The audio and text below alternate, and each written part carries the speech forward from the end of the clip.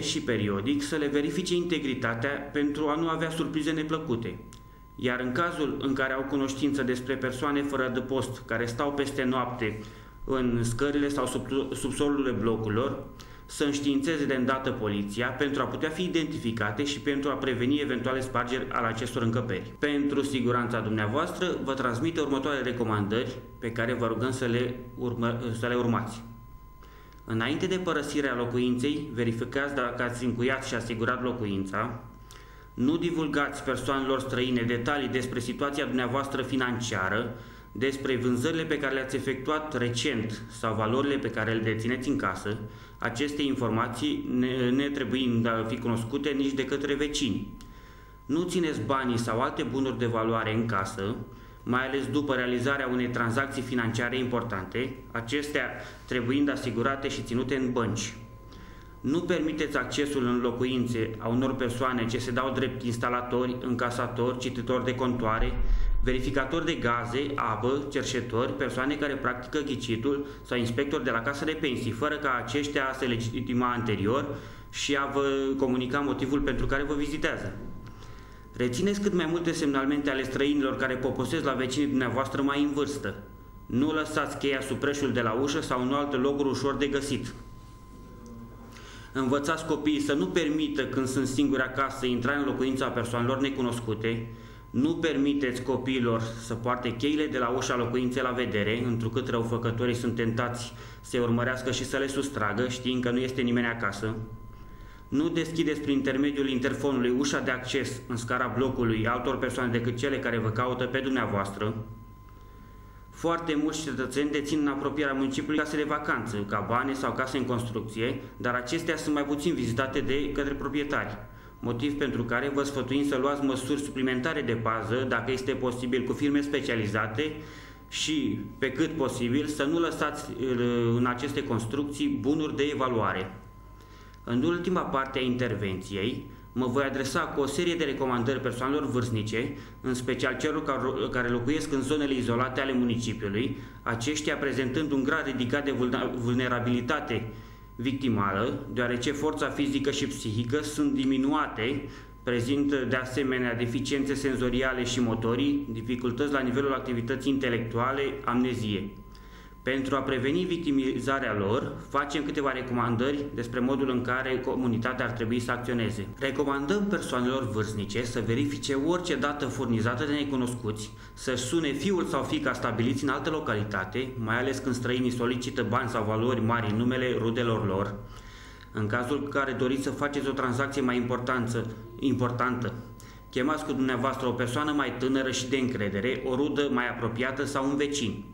Nu permiteți accesul în locuințe a unor persoane care se dau drept instalatori, încasatori, cititori de contoare, verificatori de apă, gaze, cerșetori, persoane care colectează diferite fonduri, persoane care practică ghicitul, călugări, inspectori de la casa de pensii, cum v-am comunicat și mai sus.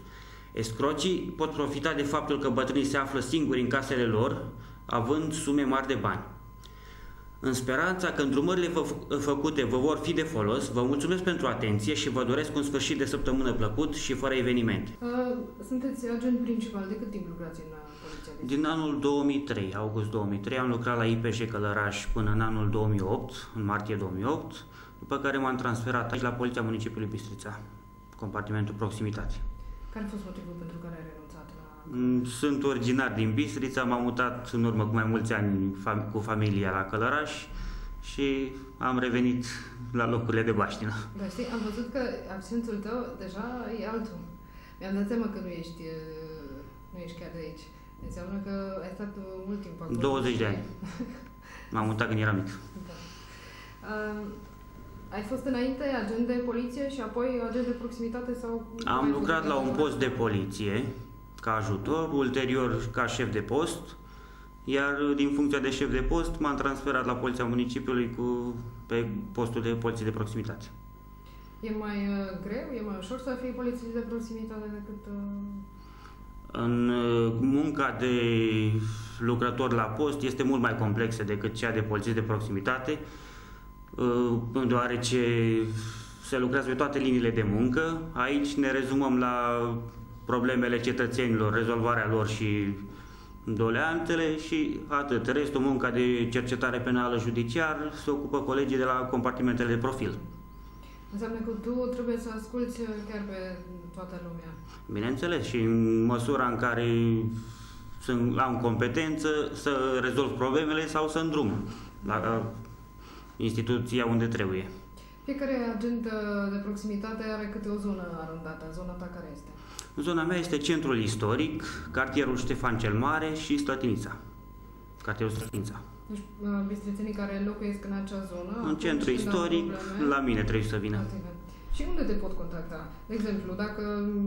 Ți dau un exemplu, mi s-a spart locuința, mi s-a spart un geam. Ce trebuie să fac? Cum să dau eu de tine? Ori să vină la ofițer serviciu al Poliției Municipiului Bistrița sau pe telefonul mobil de servici 0731 028 643. Și numărul ăsta e disponibil? Este disponibil la orice oră. S-a întâmplat să te sune oamenii și la două noapte, trei noapte? Sigur că da.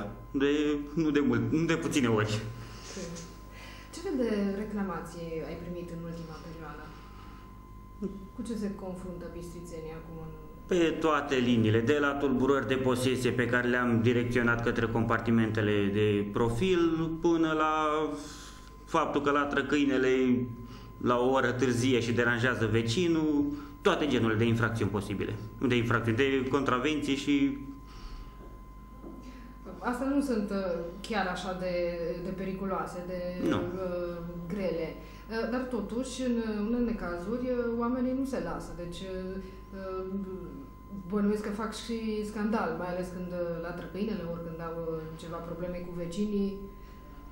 E greu să te descurci într-o situație când unul țipă, celălalt țipă și nu, nu știi cum să îi liniștești?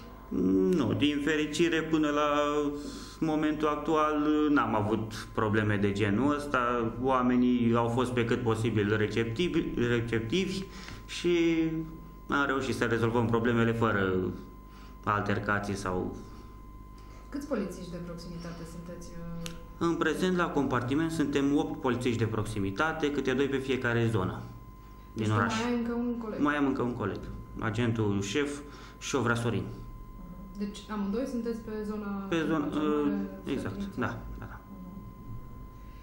Sunteți destul de puțin dacă să socotim orașul. Înseamnă că aveți uh, foarte mult de bătut. Este mult de, de lucru, dar ne descurcăm. Și sper eu cu brio. Acum vine iarna din uh, cunoștințele tale. Ce probleme se ivesc odată cu sosirea iernii, în afară de cele de circulație? Problemele care au fost și în cursul anului sunt și acum. De obicei, în cursul iernii mai apar băuturile alcoolice la producători și eventual certuri mai multe, dar în general avem oraș liniștit. Da. Dar putem spune că Bistrița nu este foarte gălăgioasă din acest punct da, de vedere. Da. Sunt alte județe și uh, alte orașe în care, într-adevăr, polițiștii abia pot face față. Asta e adevărat.